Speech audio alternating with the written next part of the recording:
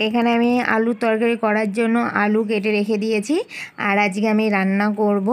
এই যে দেখতে পাচ্ছ আলু আর ঝিঙে দিয়ে পোস্ত আর আলু পটল দিয়ে মাছের ঝোল। আর ওইদিকে আমি চাও বসিয়ে দিয়েছি। আমি একদম রান্না সব কিছু কেটে গুছিয়ে রেখে দিলাম।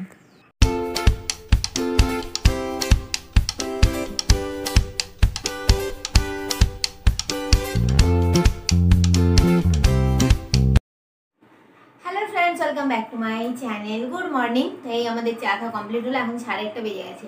তো আমাকে এখন জল আনতে যেতে হবে। তো আজকে আর কোনো তাড়াহুড়ো নেই, ওই জন্য আমি দেরি করে মানে ওই জন্য আমরা একটু দেরি করে চা খেলাম, অনেকটা সময় নিয়ে গল্প করতে করতে।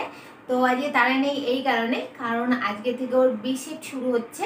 মানে এই যে সরকার থেকে বলে দিয়েছে না মানে প্রত্যেকটা অফিসে ফিফটি পার্সেন্ট লোক নিয়ে কাজ করতে।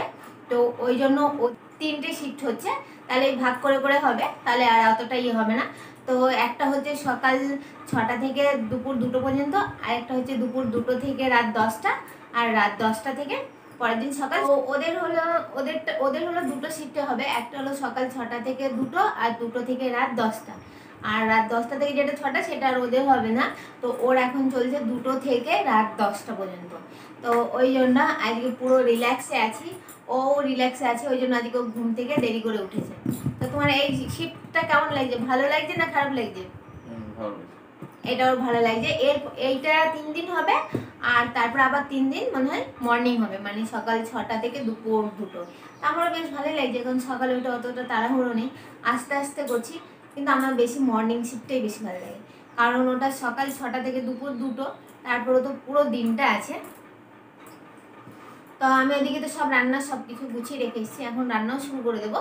নাহলে এবার দেখতে দেখতে সময় চলে যাবে। তো আমাদের আজকে চা খেতে খেতে একটু দেরি হয়ে গেল, কারণ একটু না, অনেকটা দেরি হয়ে গেছে, পুরো এক ঘণ্টা ধরে, এক ঘণ্টার বেশি। কারণ আমরা একটা জিনিস নিয়ে একটু তর্ক করছিলাম, সেটা হলো মানে সেটা হলো বেস্ট সিঙ্গার নিয়ে। মানে আমার যে বেস্ট সিঙ্গার আমার কাছে সেটাই বেস্ট আর ওর কাছে যেটা, ওর যে বেস্ট সিঙ্গার ওর কাছে সেটাই বেস্ট তো ওর হলো ফিমেল বেস্ট সিঙ্গার হলো শ্রেয়া ঘোষাল। ও বলে শ্রেয়া ঘোষালের মতো নাকি কেউ নেই। আর আমার হলো বেস্ট ফিমেল সিঙ্গার হলো নেহা কাক্কার। তো আমার মনে হয় নেহা কাক্কারের মতো বেস্ট আর কেউ নেই। তো আমার আগে হানি সিং পছন্দ ছিল, কিন্তু ওর কথা শুনে শুনে ওর এই কুমার সোনার কিশোর কুমারের গান অল টাইম শুনতে শুনতে এখন আমার মনে হয় ওদের গান শুনতে আমারও ভালো লাগে। কিন্তু না আমার এখন থেকে হানি সিংই বেস্ট আর অরিজিৎ সিং বেস্ট আর নেহা কাকার বেস্ট আর ওর হলো শ্রেয়া ঘোষাল পচা। তখন শ্রেয়া ঘোষাল পচা। আমি জিতেছি ঠিক আছে? না শ্রেয়া ঘোষাল না নেহা কাক্কার নেহা কাক্কার আর অরিজিৎ সিং। তো চলো আজকে অনেক কথা হয়ে গেছে, এখন গিয়ে তাতে রান্নাটা করে ফেলি, না আগে জল আনতে যাব, তারপরে সে রান্না করব। আর আজ অনেক দিন পর ভালো রোদ্দুর উঠেছে, কারণ এই কদিন মেঘলা হয়ে গেছে একবার রোদ্দুর আসছে, চলে আসছে আসছে, চলে আসছে। কিন্তু আজকে অনেকটা রোদ্দুর উঠে আছে। তো চলো আমি ওদিকে রান্না সব কিছু তো সবাই ব্যাগে করে বাজার নিয়ে আসে আর আমি ব্যাগে করে জলের বোতল নিয়ে এসি মানে এই ব্যাগটা হলো আমার জল আনার ব্যাগ। মানে এই ব্যাগটা করে আমি জল আনতে যাই। বোতলগুলো একবারে ব্যাগের মধ্যে ভরে নিই, তাহলে ভালো হয়। দেখো আমি কত জল ভরেছি। তো এই যে আমি খাবার জল নিয়ে এসেছি, আমি বোতলে করে নিয়ে আসি।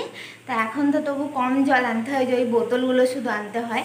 আর আমি যখন পুরনো ঘরে ছিলাম, সকালে আমাকে প্রায় কুড়ি বালতি করে জলটা আনতে হতো। তো সেই কষ্টের হাত থেকে আমি বেঁচে গেছি। তো ওইদিকে আমার আলুর তরকারিটা প্রায় হয়ে গেছে। এখন আমি রান্না শুরু করে দেবো। তো চলো তাড়াতাড়ি রান্না শুরু করে দিই নাহলে আস্তে আস্তে দেরি হয়ে যাবে। তো এখানে আমি আলু পটল দিয়ে মাছ দিয়ে ঝোল করছি, ওই জন্য আলু পটলটা ভালো করে কষিয়ে নিচ্ছি। তো এইদিকে ঝোলটা হতে হতে ওইদিকে আমি মাছও ভাজছি। তাহলে আমার এই ঝোলটা কমপ্লিট হতে হতে মাছ ভাজা হয়ে যাবে, তখন নামানোর আগে আমি মাছগুলোকে দিয়ে দেবো।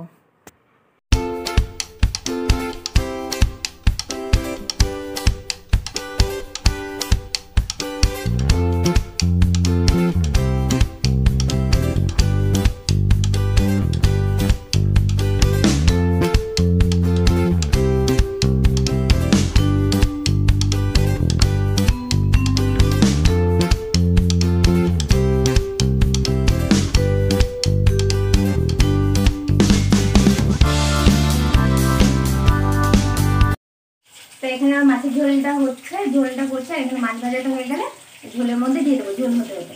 তা এখন আমরা এখন আমরা টিফিন করব আর আমি টিফিনে কিনে বললাম আলুর তরকারি বানিয়েছি। এখন এটা আমরা খাব। আমরা একটু লাগতে ঠিক আছে।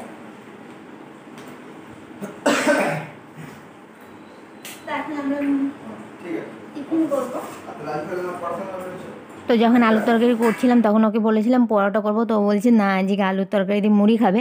কারণ ওর আলুর তরকারি করলে বা ঘুগনি করলে একটু মুড়ি না খেলে ভালো লাগে না। ওই জন্য আর পরোটা করিনি, লুচিও করিনি।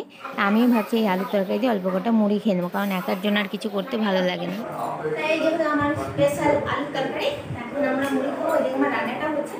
রান্না করতে করতে দেরি হয়ে যাবে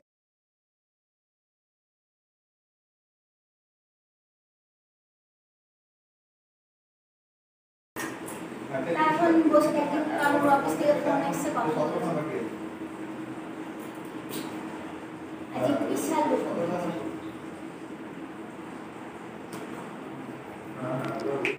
তো এই দেখো আমি শ্বশুর বাড়ি থেকে অমূল্য সম্পদ নিয়ে এসে এই তিন প্যাকেট মাটি আর এই দুটো টব নিয়ে এসে এখানে দুটো টব আছে আর এই ফুল গাছটা নিয়ে এসেছি। তো শাইনি আমাকে এরকম একটা ফুল গাছ দিয়েছিল কিন্তু ওটাকে আমি বাঁচাতে পারিনি, তো আমি ওই জন্য আবার এই ফুল গাছটা নিয়ে এসেছি। আর নিয়ে এসে এই যে আমের আচার নিয়ে এসে আর এই তেঁতুলটা আমি সেই বাড়িতে রেখেছিলাম, তাই একটু রোদ্দুর দিয়েছি।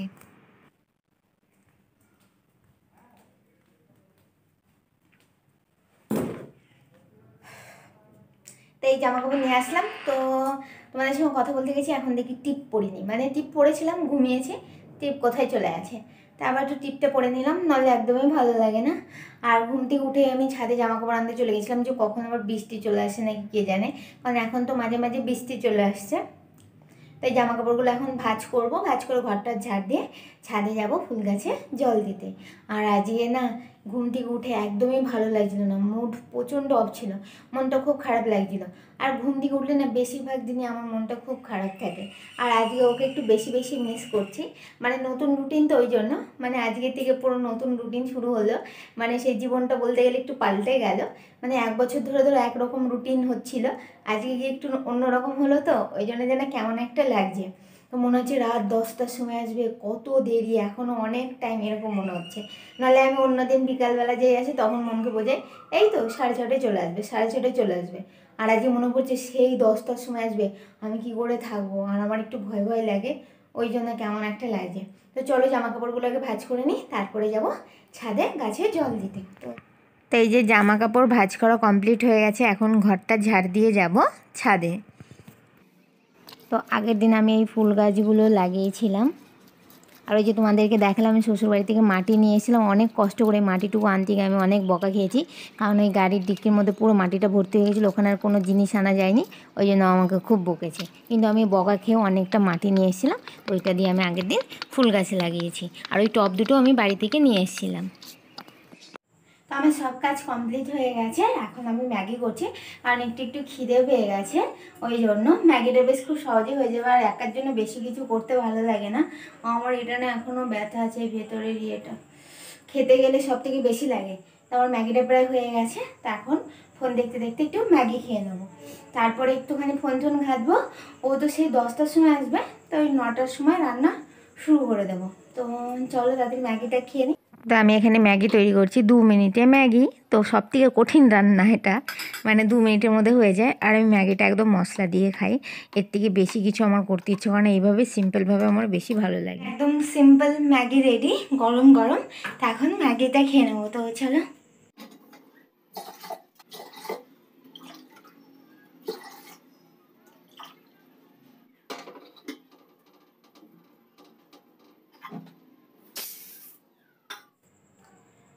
এদিকে আমি রান্নার সব কিছু একদম গুছিয়ে রেখে দিলাম হাঁড়ি টাড়িতে জল দিয়ে। জাস্ট যখন সাড়ে নটা বাজবে তখন আমি বসিয়ে দেবো, কারণ ওখান থেকে দশটার সময় বেরোবে। ও এখানে পৌঁছাতে পৌঁছাতে দশটা পনেরো টনেরো বেজে যাবে। তো চলো একটু তোমাদের সাথে গল্প করি, কারণ একাকে একা একদম ভালো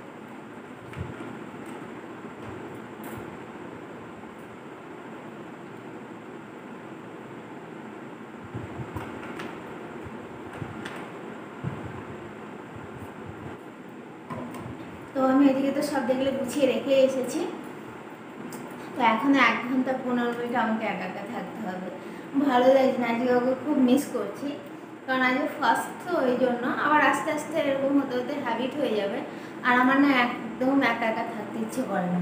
আমার যেন একটু ভয় ভয় লাগে টুনটান আওয়াজ হলে এত ভয় লাগছে না মানে কী বলব? কেন জানি না, আমার একা থাকতে একদম ভালো লাগে ওই জন্য ওকে খুব মিস করছি। একটু আগে ফোনও করেছিলাম তো ওরও ভালো লাগছে ওর আজকে ফার্স্ট তো ওই জন্য। এখন কি করব একা একা বসে বসে? আর আজকে মনটা খুব খুব খারাপ। এই বাড়ির কথা খুব মনে পড়ে যাচ্ছে। ট্রেন ফ্রেন সব বন্ধ হয়ে গেছে, কবে যাব? আবার করোনারও এই পরিস্থিতি, কিছু ভালো লাগছে না।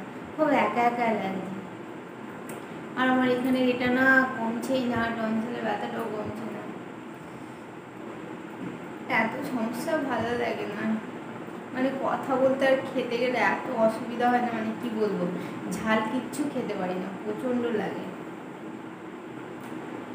তা এখন আর কি করব? বসে বসে একটু ফোন ঘাটবো। পাক্কা সাড়ে নটা যখন বাজবে, তখন আমি ভাত বসিয়ে দেবো। এখন একটু বসে বসে ফোন ঘাটতে নাহলে একদমই সময় কাটছে না।